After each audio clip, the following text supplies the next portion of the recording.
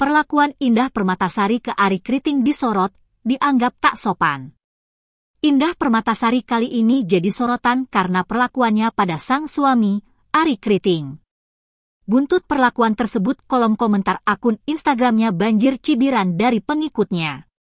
Diketahui, Indah Permatasari mengunggah sebuah video yang memperlihatkan dirinya menyumpal mulut sang suami dengan menggunakan kakinya. Dari video yang diunggah, Ari Kriting terlihat tengah berbaring di kasur sembari bermain game online. Indah Permatasari pun menegur sang suami, yang awalnya mengaku ingin tidur namun ternyata bermain game. Ketika Ari Kriting ingin menjawab, kaki Indah Permatasari perlahan mengarah ke mulut sang komika. Indah Permatasari seperti menahan bibir Ari Kriting agar tak memberikan alasan dengan menggunakan jari kakinya.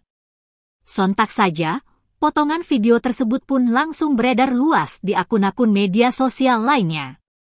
Kali ini, video indah Permatasari ini justru menuai cibiran dari warganet. Istri Ari Kriting ini dinilai tidak sopan kepada suaminya.